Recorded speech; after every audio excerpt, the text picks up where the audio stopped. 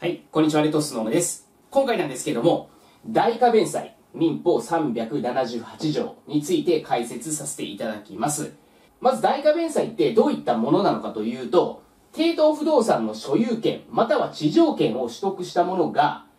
抵当権者の請求に応じて代価を弁済すること、これが代価弁済と呼ばれるものなんですね。で、この代価弁済をするとどうなるのか、どういった効果が生じるかっていうと、抵当権が消滅するよ。こういった効果があるんですね。抵当権が消滅するという効果があります。で、これについては後でもお伝えするんですけれども、この弁済した金額が非担保債権に満たない場合であったとしても、抵当権は消滅します。ちょっとこれについてですね、一つ一つ見ていこうと思うんですけども、まず具体例ですね。A さんが債務者で B さんからお金借りました。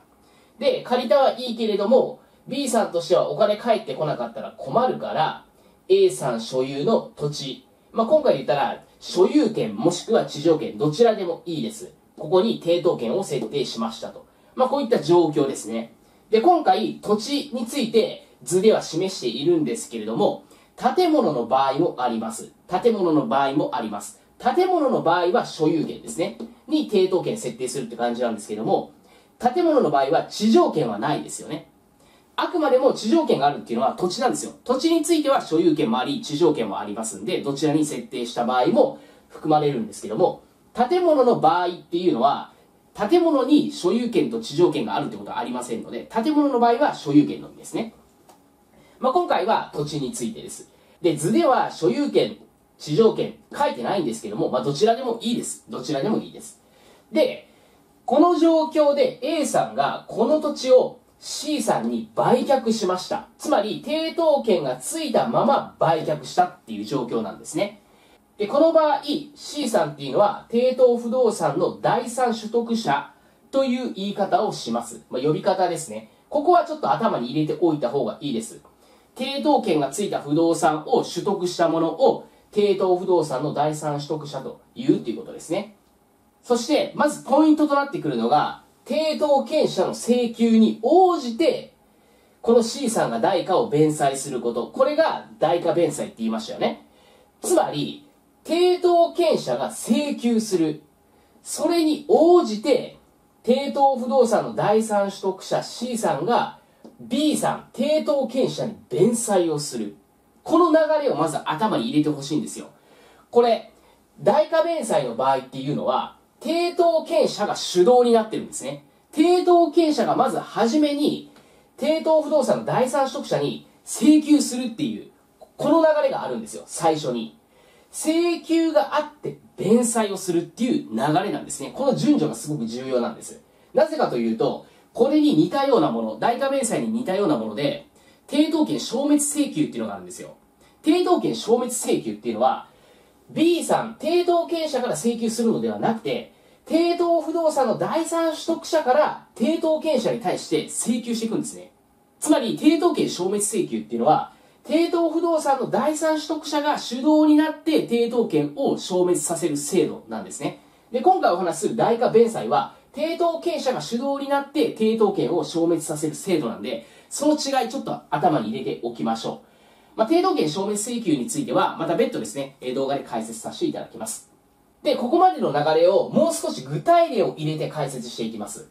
まず、債務者 A さんが B さんから1000万円借りたと仮定します。1000万円借りた。つまり、抵当権者 B さんが持っている非担保債権っていうのは1000万円ですよね。1000万円。まあ、貸金債権が1000万円です。で、今回、抵当権設定しているので、まあ、貸金債権って呼んでもいいし、まあ、非担保債権って呼んでもいいということですね。1000万円貸しました。で、この1000万円を保証するために抵当権を設定してるんですけども、A さんがこの抵当不動産を C さんに800万円で売却しました。まあ、これは所有権を売却したって考えてもいいし、地上権を800万円で売却したって考えてもどっちでもいいです。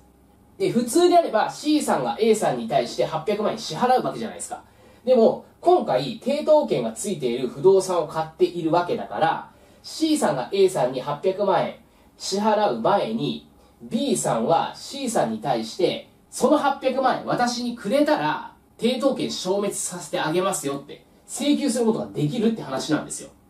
まあもちろんこのような請求ってしなくてもいいんですよ。しなかった場合は C さんは抵当不動産、抵当権がついた不動産を取得するわけなので、抵当権者 B さんは抵当権を実行して、まあ、つまり競売にかけることができるわけなんで、その結果 C さんは、えこの土地、所有権失うっていう場合もあるんですよね。C さんっていうのは、この土地、誰かに取られちゃうってこともあるんですよ。で、それが嫌な場合もやっぱあるわけですよね。で、そういった場合、C さんはもう B さんとこう話をするわけですね。まあ、800万円で買いましたよ、みたいな。で、そしたら、程度経営者 B さんが、じゃあまあ800万円あるならもうそれでいいかと。B さんとしては1000万円貸したから1000万円返してほしい。でも、まあ、競売にかけてまた手続きいろいろやるっていうのはめんどくさいので、まあ、それであればもうとりあえず800万円だけでも返済してもらえばいいかって言った場合、B さんは C さんに対して、じゃあその800万円私に弁済してくれたら、抵当権消滅するよっていうふうにこう請求することができるんですね。で、それに応じて C さんが800万円を弁済をする。そうすると抵当権が消滅するんですよ。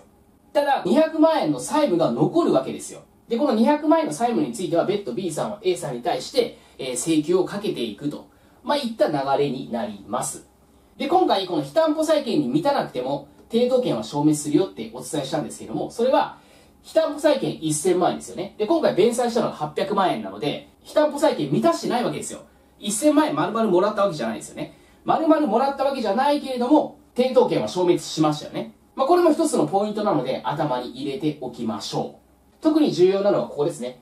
代価弁済っていうのは、抵当権者が請求をして、それに応じて、抵当不動産の第三取得者が弁済をする。それによって抵当権は消滅するよってことですね。抵当権者の請求があって、それに応じて弁済をするっていうこの流れですね。